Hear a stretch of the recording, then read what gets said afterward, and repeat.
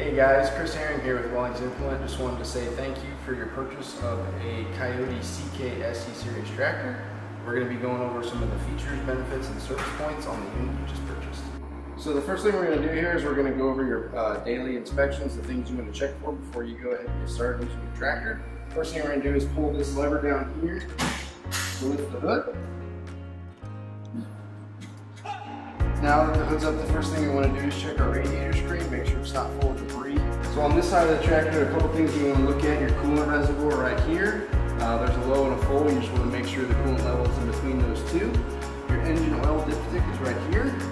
You want to pull it out, wipe it off, replace it, pull it back out, and you want to make sure your engine oil level is in between the two check marks. On the back of the tractor, we're going to check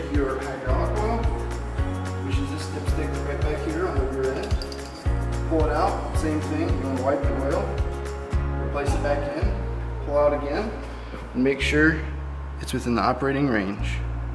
So we're going to go over the inside of your cab and some of the different uh, features and functions that we have. First thing I'm going to go over the seat. Um, it is a nice suspension seat. This lever right here, you rotate it clockwise to increase the stiffness and rotate it counterclockwise to decrease the stiffness. Um, this lever right here moves the seat forward and backwards to get your desired position. The controls we have up here is your rear window defrost, your working lights, your uh, front and rear wiper, and then you also have your PTO control. This is an electric PTO. To engage the PTO, you push down and turn it. When you engage the PTO, you want to be at a low engine RPM, and then after that, you want to run the engine RPM up to operating speed. To disengage the PTO, you simply push down on it, and the unit turns back to the off position. This SE Series tractor is equipped with two rear hydraulic remote valves. Both of these control an individual remote. This extends the remote and this retracts the remote. Same controls for both of them. This is your three-point hitch control with your three-point hitch depth stop. Once you find the desired height you want to run the three-point at, whether you be mowing or running a box scraper, you can unscrew this, set it to whatever height you desire to allow for consistent depth control when you're mowing or grading. This is our loader control valve um, some of the operations and functions here, you're going to pull this in to roll the bucket back. You're going to push it out to dump the bucket forward. You're going to pull back to lift the bucket up, and you're going to push down to put the bucket down. Um, if you go all the way past down, this puts the bucket into float, which is basically just gravity. It just lets the weight of the bucket rest on the ground. You could use this for back dragging or grading, um, or for when you go to store the tractor. Some of the controls here on the bottom of the control panel by where your foot rests um, the first one here, this is your draft control for your three-point hitch. So what this does is it controls the speed of descent of your three-point hitch as it goes down. Um, for heavy, heavier implements, when you lower them, they're going to want to go down a lot faster. Um, so you want to turn it counterclockwise, and in doing that, um, it makes the hydraulic flow restricted, so the implement will lower more gently. Um, if you want it to lower faster, you turn it towards the rabbit and it speeds it up. This over here is our front wheel drive, four wheel drive. So if it's up, it's disconnected. If it's down, it'll be engaged.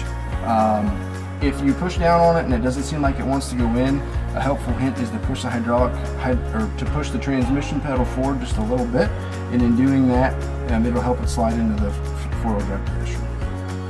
This is our differential lock. The differential lock is to be used when you're in situations where you need the maximum traction and less steering. Um, when you engage the differential lock, it locks both rear tires together, um, but it does inhibit your turning ability quite a bit. When you engage this, you push down on it. Um, again, you may need to push forward on the hydrostatic pedal to get it to fall into place. You want to engage both the four-wheel drive and the, and the uh, differential lock when you are not spinning. So you want to stop what you're doing, engage both of them, and then continue. So on this side over here we have our transmission selector. Uh, this tractor is equipped with a low, medium, and high range. Um, you're probably going to spend most of your time in the low and medium range. These are kind of going to be your work, your work ranges. High is normally used to transport between locations on the farm or uh, running up and down the road. Um, a helpful hint again here when you're switching from low to medium or medium to high, if it seems like the, it does not want to go into the desired gear, push forward on the hydrostatic pedal just a little bit and that'll help it pop in. This is your uh, diesel particulate fill regeneration switch. Uh, we'll have a separate part of the video that it kind of explains the system and what this switch does. This is obviously your four-way hazards. And over here, beneath the steering column, we have our cruise control. So you set that to there and it turns it on. You would push, you would get to the desired speed and then push that button and it'll maintain that constant speed. This shuts it off. Here we have our auto and manual PTO switch. Um, manual mode would behave like a normal PTO. When you have it switched to the auto mode, what it does is when you lift the three-point hitch, like if you're running a tiller or a mower or something like that, when the three-point hitch reaches a certain height, it will actually disconnect the power to the PTO, and then when you put it back down, it'll turn it back on. A couple different level, levers over here on this side. This right here controls your steering column, lets you set it to what's most comfortable. This right here is your linked pedal switch. Um, as you can see right now, it's in the off position. When you switch it up here, the linked pedal would come on. What the link pedal does is it matches your ground speed with engine RPM, so it automatically controls the throttle. When the link pedal is off, you control the throttle manually and independent of the hydrostatic transmission. Alright guys, we're going to go over the three-point hitch here and some different features on the SE Series tractor. Um, the first and probably the most noticeable feature is the ability that you have to extend your three-point arms with this right here. Um, does is it makes it a lot easier to hook up the implements because you don't have to be right next to it. You know, if your three-point pin's right here, you can kind of adjust this as it is and allows you to get both of them hooked on. Once you do get both these hooked on, you would make sure you back into the implement though, so it goes all the way down and comes back into the locked position. The other neat feature about the SE series tractors is these uh, links that we have for the lower part of the three-point hitch. You can pull this out and it ma makes it move nice and easy. Um, this also really assists in hooking up implements and also gives you a variety of different selections to set how wide you want the three-point hitch to be while you're operating it. So you have a couple adjustment options here when you're hooking up your three-point hitch. The first one here is your top link. Um, this turnbuckle right here, you would loosen this set screw and as you rotate this back and forth, it's going to control the pitch of the implement front to rear. Um, another control point that you have on here is the turnbuckle on this lower third arm. When you manipulate this turnbuckle, it adjusts the pitch of the implement side to side. Another feature on the SE Series tractor is this outboard three-point hitch control connects to the same linkage that's in the cab. Moving this allows you to move the three-point hitch up and down without having to get back in the tractor. So while you're hooking up, this is really handy. A quick example here, you know, say you need to go down a little bit more, you just lower the lever and the three-point hitch goes down.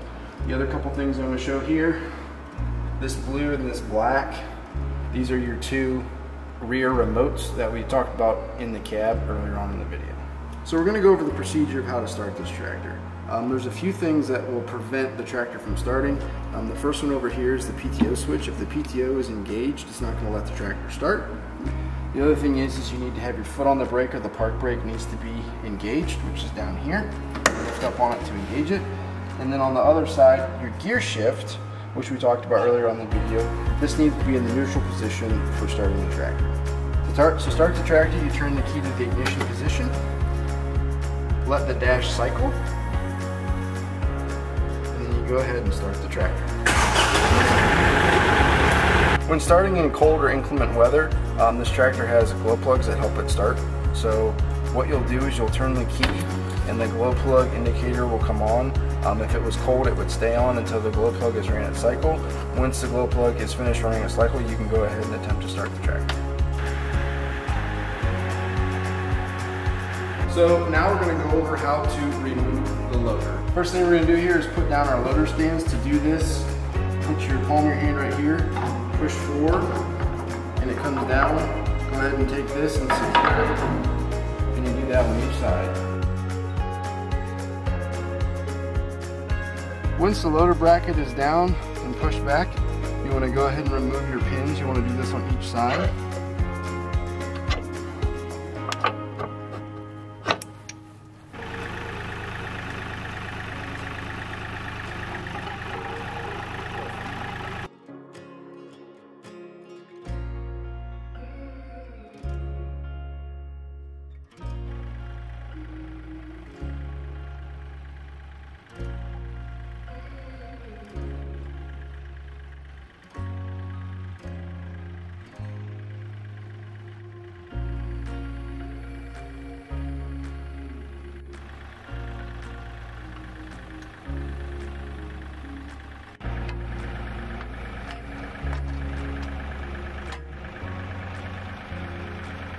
So this switch right here deals with your diesel particulate filter. So what the diesel particulate filter is, it's that silver canister underneath the hood. It catches all the black soot that comes out of the engine. Um, and when the, when, the, when the filter gets full, it has to regenerate, which means it burns at a hot temperature and basically cleans the filter out. Um, when this happens, an icon comes on on the dash and lets you know that it's happening. While it's happening, you just want to keep doing what you're doing. Don't shut the tractor off. Just keep maintaining, mowing, or whatever you're doing. Um, if you do not want the tractor to regenerate, say you're in a barn and you don't want that hot exhaust coming out, you can hit the inhibit button, which is this right here, and it'll prevent the tractor from regenerating.